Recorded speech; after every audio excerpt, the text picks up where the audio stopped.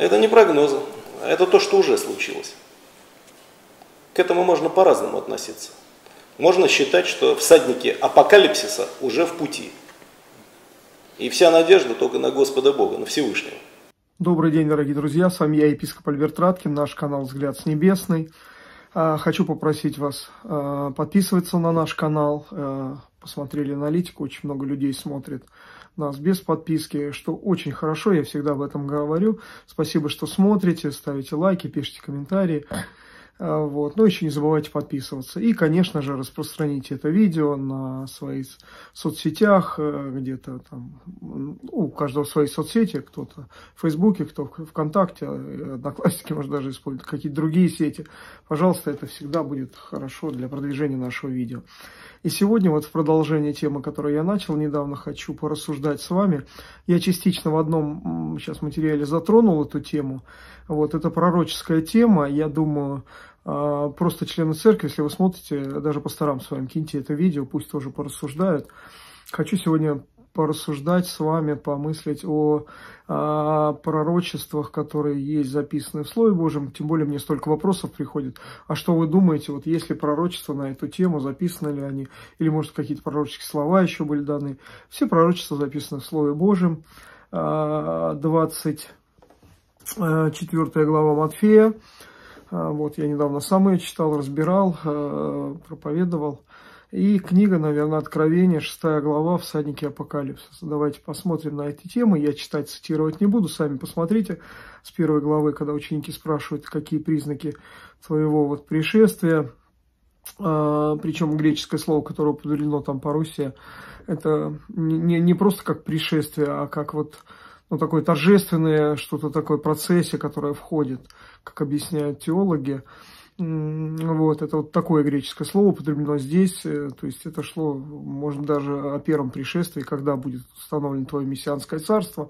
Ну, ученики думали по-своему, как и мы сегодня по-своему многие думаем.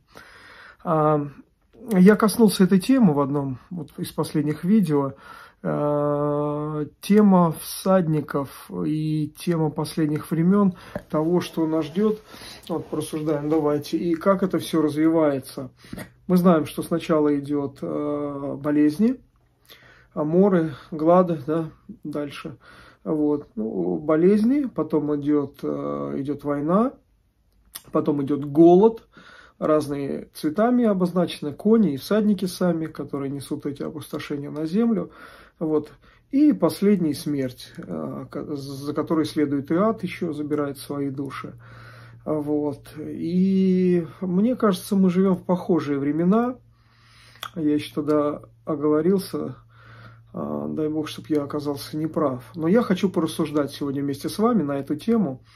А, посмотрите, давайте вернемся к истории. Вот не, не к сегодняшнему дню, да, не к военным действиям, которые происходят, а попробуем сопоставить а, со столетней давностью истории, что происходило сто лет назад – а, все так же начиналось сначала, мир был погружен в эпидемию, испанка известная, которая унесла тысячи тысячи жизней по всей Европе, и дальше в континенты ушла тоже быстро, очень распространялась, люди тоже не знали, что делать. А, видео будет не длинным, просто потом пишите комментарии, давайте пообсуждаем.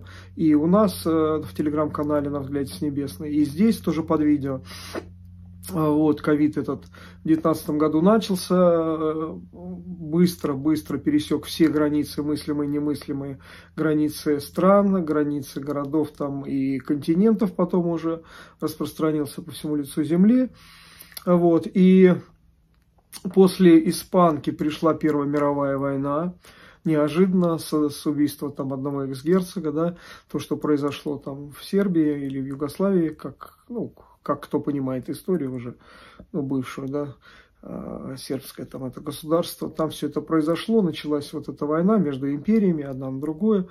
А, сейчас это тоже очень похоже на все события, как а, мы уже видим, Э, все меньше и меньше стран, которые поддерживают нас, нашу страну, Российскую Федерацию. Говорят, что в коалиции против России объединилось уже даже больше стран, чем в свое время против э, гитлеровской Германии объединилось. Уже на несколько стран больше. Вот. А стран, которые осуждают военную агрессию, как они называют, Российской Федерации против независимой Украины все больше и больше и больше вообще во всем мире. Вот. Я слушал выступление недавно, ВУЗ он называется, как он называется, суд этот, уголовный суд ООН тоже. И когда наш министр Лавров заявил, что мы не признаем, что это все клоунада, а тогда что мы признаем? Что мы и ООН скоро не признаем, хотя сами были из числа организаторов Организации Объединенных Наций наравне с Украиной и с Белоруссией. Тоже они подписывали этот документ, тогда и, и такую игру делал Сталин. Вот, ладно.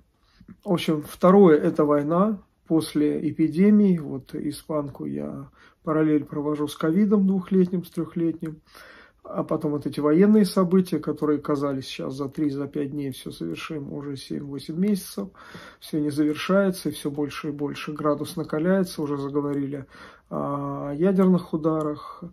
Вот. После всего этого, если касаться России, была революция после этой войны, Первой мировой войны у нас, и после всего а, пришел голод, мы знаем. Голод, который опустился на всю землю. После него пошли и а, в США были вот и по всей Европе проблемы с безработицей, Великая депрессия по всей земле наступила. А, вот. Что будет сегодня?